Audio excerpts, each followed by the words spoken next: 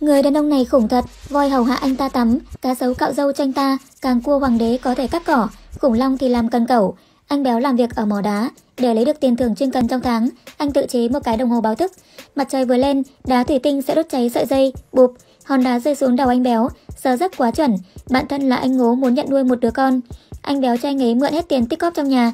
Chị đẹp muốn lấy tiền để đổi máy xử lý rác mới, nhưng phát hiện tiền tiết kiệm đã không cánh mà bay. Để lấp liếm, anh béo vội vàng chạy vào nhà bếp, túm lấy mồm con lợn rừng, đưa tay vào móc một cái. Thì ra là cái nĩa mắc kẹt trong đường ống nướng. Chị đẹp tiếp tục hỏi dồn, anh béo đành phải nói thật. Chị đẹp không những không giận mà trái lại còn cảm thấy mình đã cưới đúng người. Họ ngồi lên xe buýt, chân dùng sức đạp vài cái, xe bắt đầu chạy.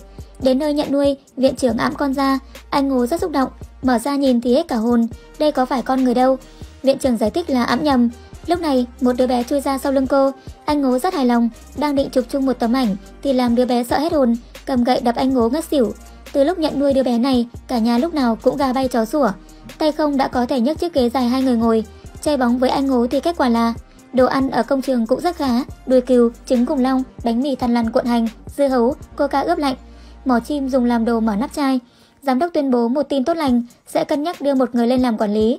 Ngày thi thăng chức nhanh chóng đến gần, cầm đề thi lên, mài bút, lật đồng hồ cát, bắt đầu tính giờ. Mọi người cầm đề thi bắt đầu đục, nhưng anh béo nhìn đề thi thấy khó quá. Lúc này, anh nghĩ đến slogan của người lười, dài ngắn khác nhau thì chọn B, na ná bằng nhau thì chọn C. Sắp hết giờ rồi, anh béo vội vàng đục thật nhanh. Lúc nộp bài, để trả ơn anh béo, anh ngố đã đánh cháo bài thi. Kết quả bài thi nhanh chóng được công bố. Anh béo chẳng hy vọng mấy, ngay lúc anh định bỏ đi thì chuyện bất ngờ đã xảy ra. Kết quả là anh béo thành công trở thành quản lý. Ngày hôm sau đi làm, anh sửa soạn cho mình một chút.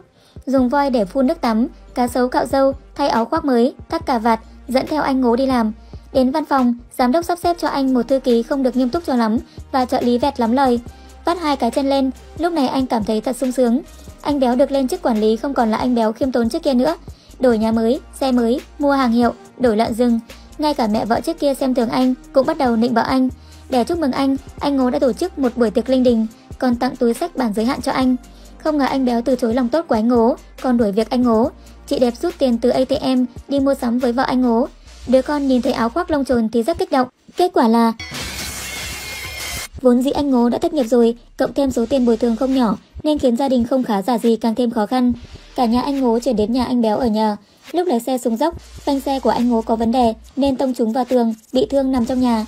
Nhìn hai vợ chồng anh Béo ăn uống, ngâm mình trong suối nước nóng, vợ chồng anh Ngố cũng rất ganh tị. Một hôm, giám đốc cầm một sắp hợp đồng đến bảo anh Béo ký tên. Anh Béo nói phải vội đi hẹn hò với vợ. Giám đốc đồng ý sẽ thanh toán chi phí, nên anh Béo liền lập tức đồng ý ký tên. Vẹt lắm lời nhắc nhở anh, không nhìn nội dung mà đã ký tên, anh sẽ hối hận đấy. Anh béo vội vàng đục ký tên xong thì đi tham gia một buổi tiệc khiêu vũ đẳng cấp, hát hò nhảy múa. Lúc đang định dùng bữa thì lại làm đổ cái ly, nhân viên phục vụ đến đuổi khăn trải bàn, kết quả lại là anh ngố. Anh béo cười nhạo anh, anh ngố thấy không vui, đổi khăn trải bàn xong liền bỏ đi.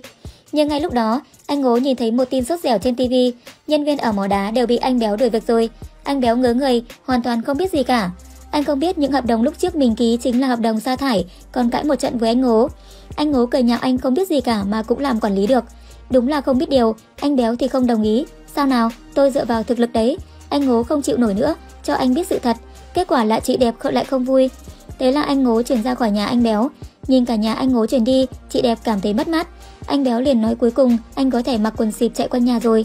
Chị đẹp chất vấn anh, có gì quan trọng hơn tình bạn hơn 20 năm chứ Anh béo trả lời, mặc quần xịp chạy quanh nhà, thấy anh béo tự cao tự đại, chị đẹp rất tức giận, ném đồ gia dụng mới trang trí ở trong nhà, xách hành lý bỏ đi.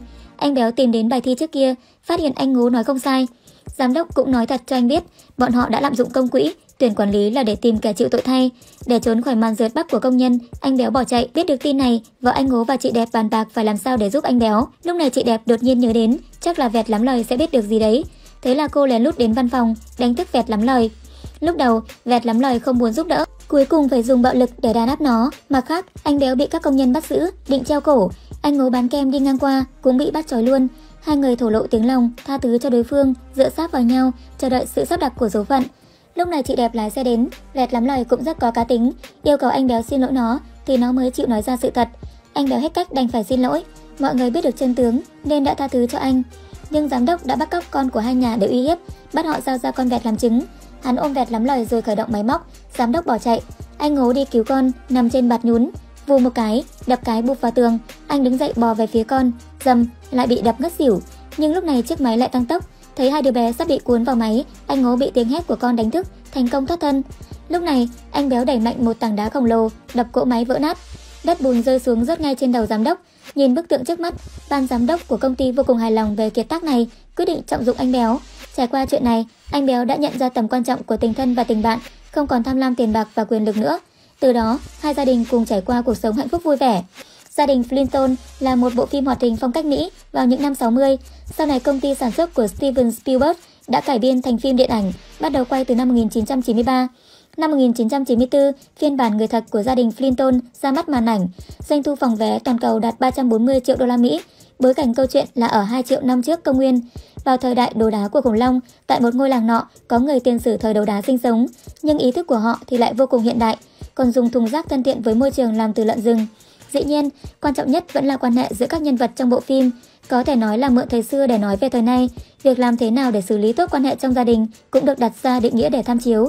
Cuối cùng là bài thơ dành cho người lời đây. Vô tình được làm quản lý nhỏ, tiền bạc mở mắt đi nhầm đường, ký nhầm hợp đồng gây họa lớn, cuối cùng kết cục vẫn hạnh phúc. Cáo từ.